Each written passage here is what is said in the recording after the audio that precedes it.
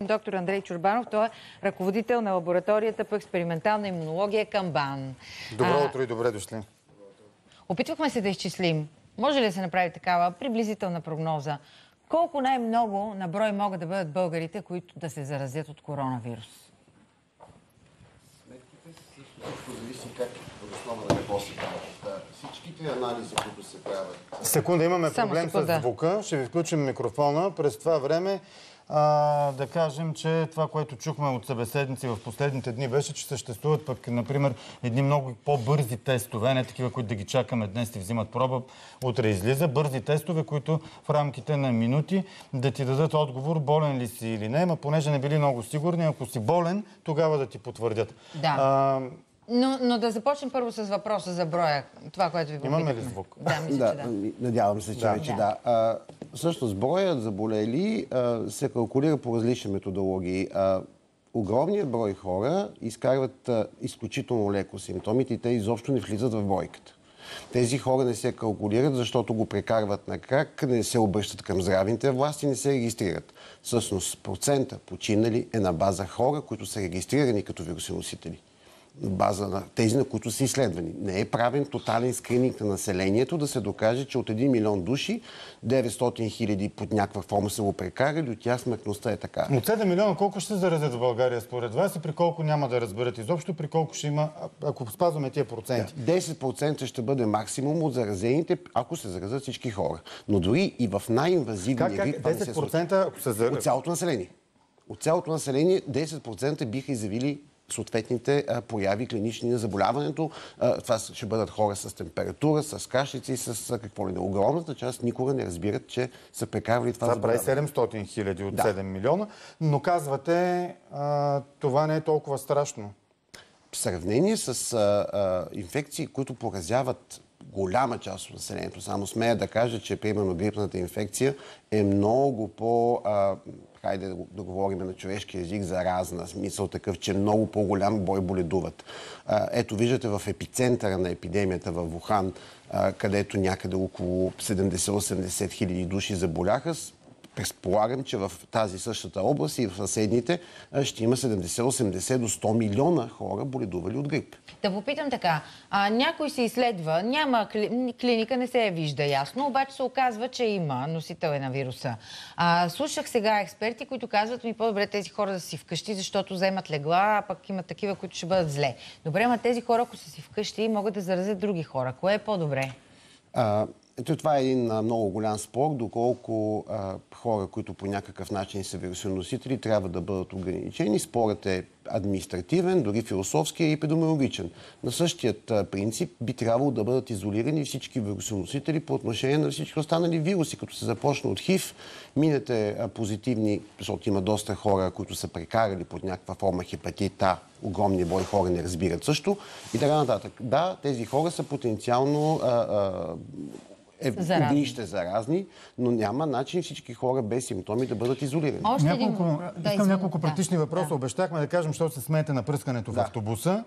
И втория въпрос парите. Тук ни каза един член на щаба, че по парите в Китай имало ситуация, да- в която се предава заразата. Автобуса парите е сансьора. Можем ли да лепнем корона? А, вируса, като огромния брой вируси, е изключително чувствителен на всичко, което е извън живият организъм, на всички фактори на околната среда, като се почне от кислород, светлина, топлина и какво ли не.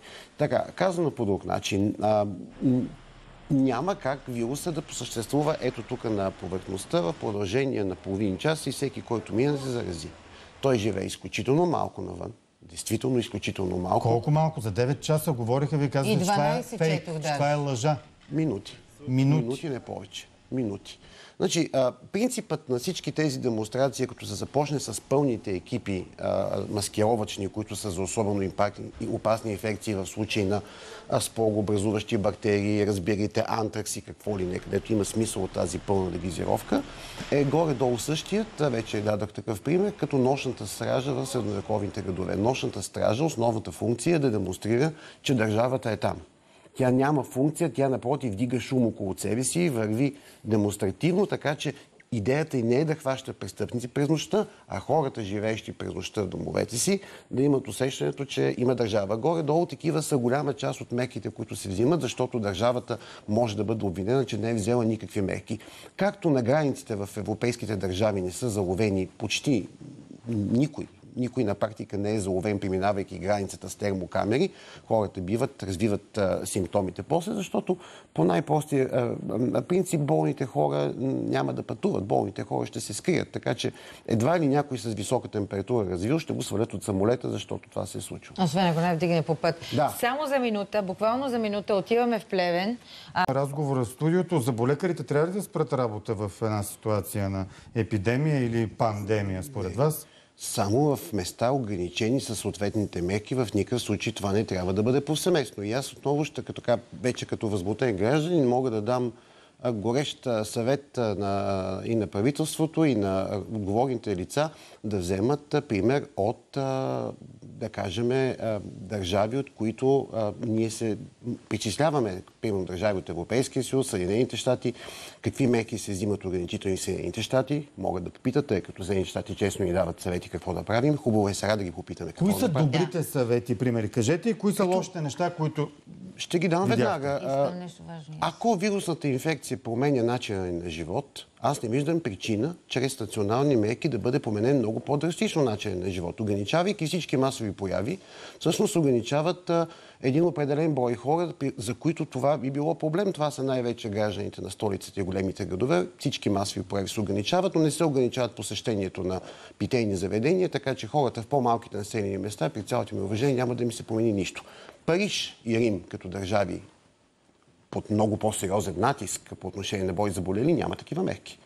А, а мярката, която въведе Израел с 14-дневна карантина на всеки, който влезе, независимо от къде в държавата? При цялото ми уважение, военни режими от типа на Израел, Иран и Китай не биха могли да бъдат прекрасните примери. Ние сме държава от Европейския съюз, подписали много документи, които всички горе цитирани държави не са подписали и не признават. Така че а, от личностните права на много хора в тези държави са ограничени по дефиниция и не би трябвало те ни бъдат пример. Два важни въпроса според мен. А, колко време след подобрение болния се води излекуван и не е заразен и може ли да го повтори? А, всъщност, ето това е много голям а, научен въпрос вече, който а, учените в много голяма степен не са дали отговор.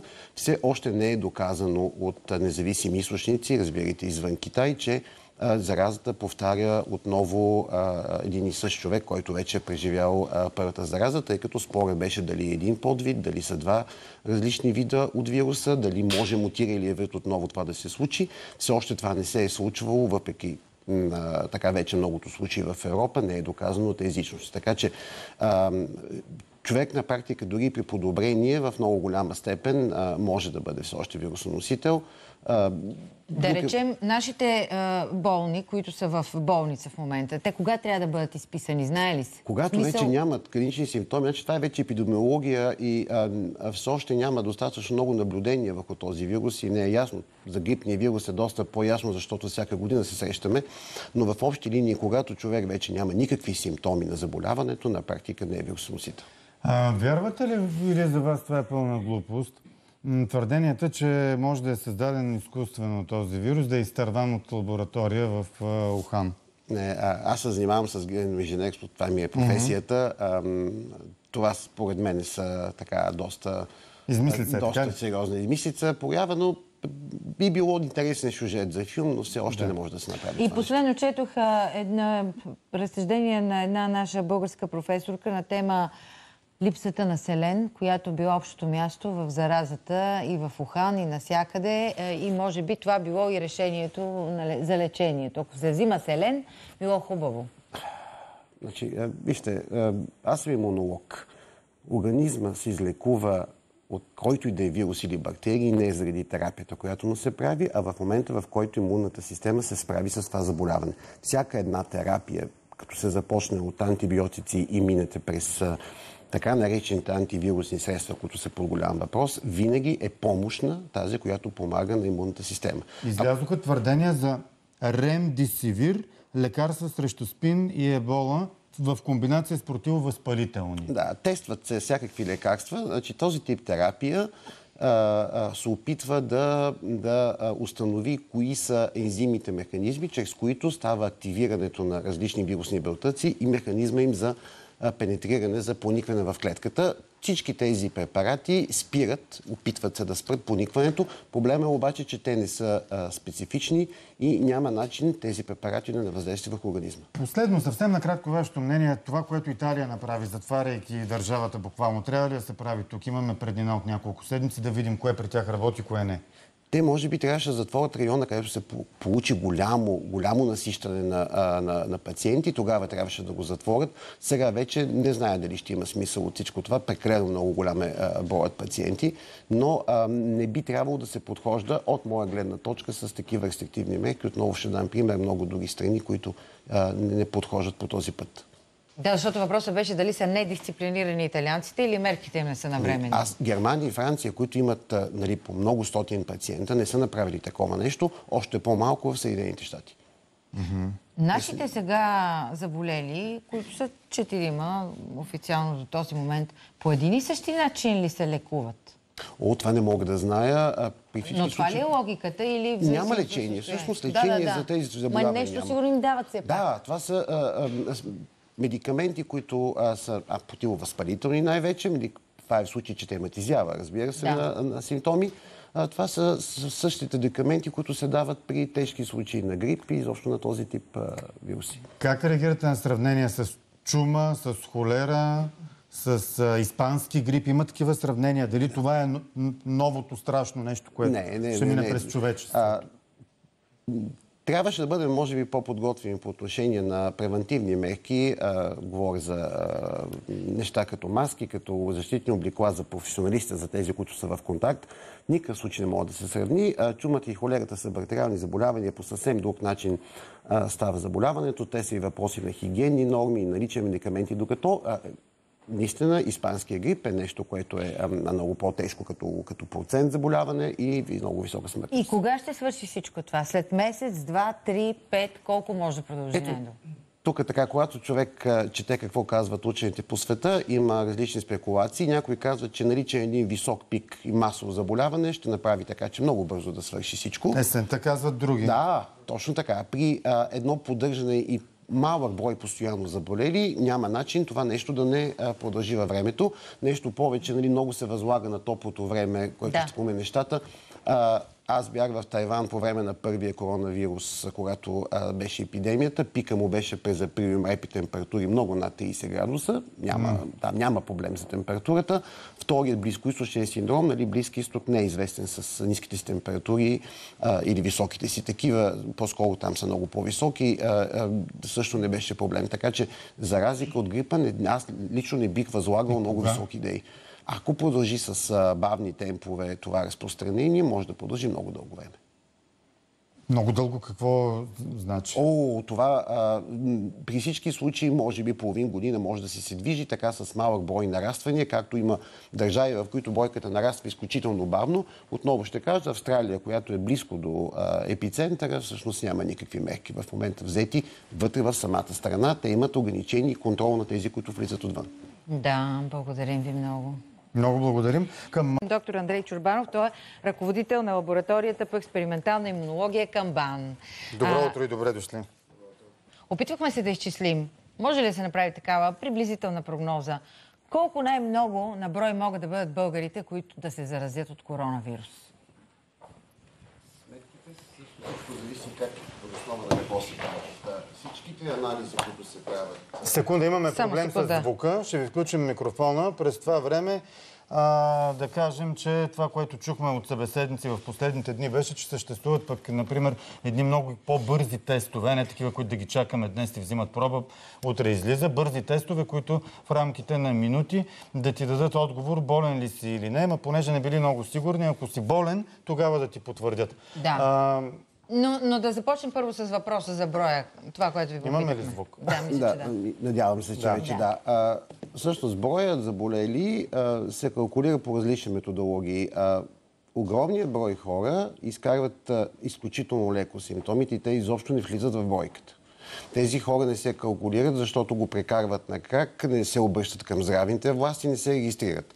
Всъщност процента починали е на база хора, които са регистрирани като вирусоносители база на тези, на които са изследвани. Не е правен тотален скрининг на населението да се докаже, че от 1 милион души 900 хиляди под някаква форма са го прекарали, от тях смъртността е така. От 7 милиона колко ще се заразят в България според вас и при колко няма да разберат изобщо, при колко ще има, ако спазваме тия проценти? Да, 10% ще бъде максимум от заразените, ако се заразят всички хора. Но дори и в най-инвазивния как, как? 10% ако се заразят? От цялото население.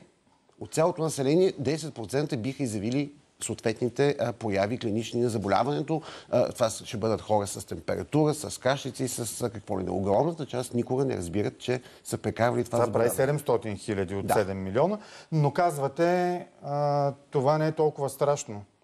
В сравнение с а, а, инфекции, които поразяват голяма част от населението, само смея да кажа, че примерно грипната инфекция е много по... А, хайде да, говорим на човешки език, заразна, смисъл такъв, че много по-голям бой боледуват. Ето виждате в епицентъра на епидемията в Вухан, където някъде около 70-80 хиляди души заболяха, предполагам, че в тази същата област и в съседните ще има 70-80 до 100 милиона хора боледували от грип. Да попитам така. А, някой се изследва, няма кли... клиника, не се е вижда ясно, обаче се оказва, че има носител е на вируса. А, слушах сега експерти, които казват ми по-добре тези хора да си вкъщи, защото вземат легла, а пък има такива, които ще бъдат зле.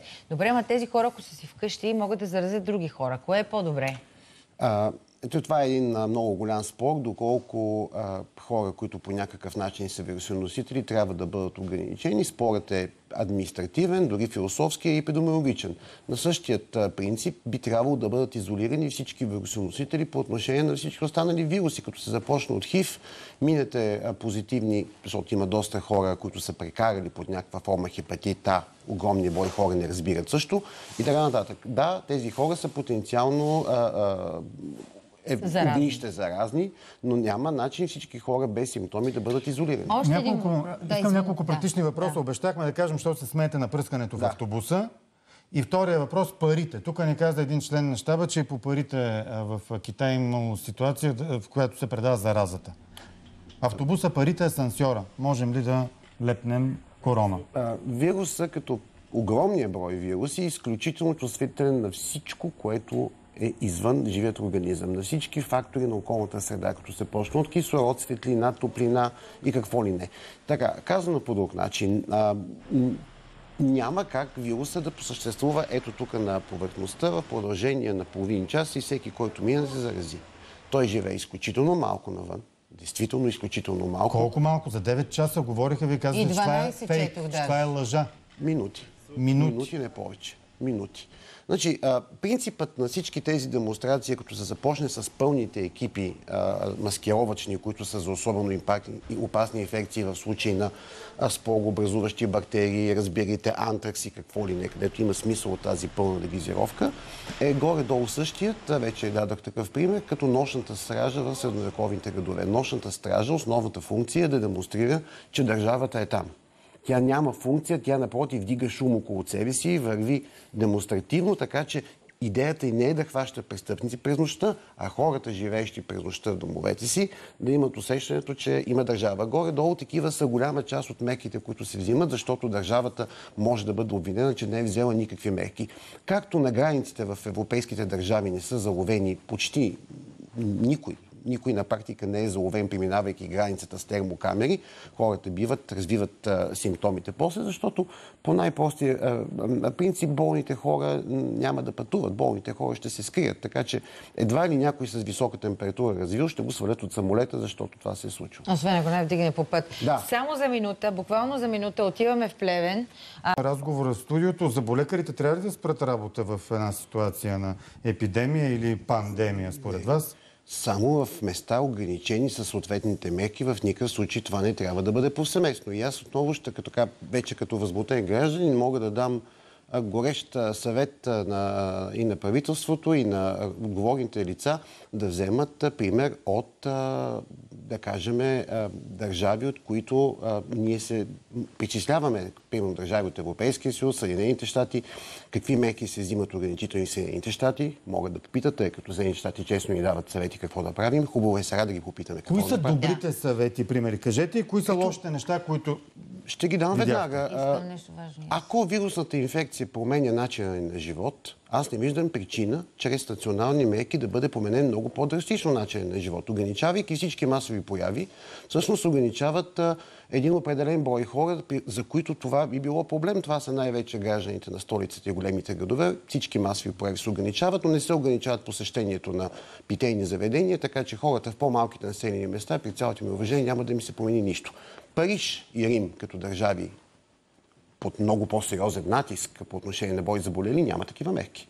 А, те, а мярката, която въведе Израел с 14-дневна карантина на всеки, който влезе, независимо от къде в държавата? При цялото ми уважение, военни режими от типа на Израел, Иран и Китай не биха могли да бъдат прекрасните примери. Ние сме държава от Европейския съюз, подписали много документи, които всички горе цитирани държави не са подписали и не признават. Така че а, от личностните права на много хора в тези държави са ограничени по дефиниция и не би трябвало те да ни бъдат пример. Два важни въпроса според мен. А, колко време след подобрение болния се води излекуван и не е заразен и може ли да го повтори? А, всъщност, ето това е много голям а, научен въпрос вече, който а, учените в много голяма степен не са дали отговор. Все още не е доказано от а, независими източници, разбирайте извън Китай, че заразата повтаря отново един и същ човек, който вече е преживял първата зараза, тъй като спорът беше дали е един подвид, дали са два различни вида от вируса, дали може мутиралия вид отново това да се случи. Все още това не се е случвало, въпреки така вече многото случаи в Европа, не е доказано от езичност. Така че човек на практика дори при подобрение в много голяма степен може да бъде все още вирусоносител.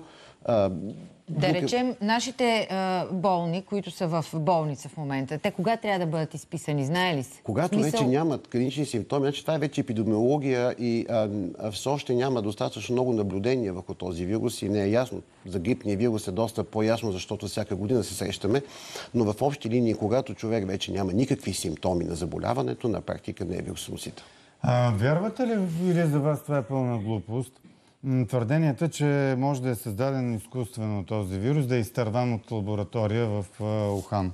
Не, а, аз се занимавам с генно инженерство, това ми е професията. Ам, това според мен са така доста, Измислица е, така доста ли? сериозна измислица. Поява, но би било интересен сюжет за филм, но все още не може да се направи. И последно четох а, една разсъждение на една наша българска професорка на тема липсата на селен, която била общото място в заразата и в Ухан и насякъде. Е, И може би това било и решението за лечението. Ако се взима селен, било хубаво.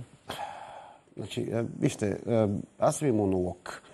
Организма се излекува от който и да е вирус или бактерии, не е заради терапията, която му се прави, а в момента, в който имунната система се справи с това заболяване. Всяка една терапия, като се започне от антибиотици и минете през така наречените антивирусни средства, които са по голям въпрос, винаги е помощна тази, която помага на имунната система. Излязоха твърдения за ремдисивир, лекарства срещу спин и ебола в комбинация с противовъзпалителни. Да, тестват се всякакви лекарства. Значи, този тип терапия се опитва да, да установи кои са ензимите механизми, чрез които става активирането на различни вирусни белтъци и механизма им за пенетриране, за проникване в клетката. Всички тези препарати спират, опитват се да спрат проникването. Проблема е обаче, че те не са а, специфични и няма начин тези препарати да не въздействат върху организма. Последно, съвсем накратко вашето мнение, това, което Италия направи, затваряйки държавата буквално, трябва ли да се прави тук? Имаме преднина от няколко седмици да видим кое при тях работи, кое не.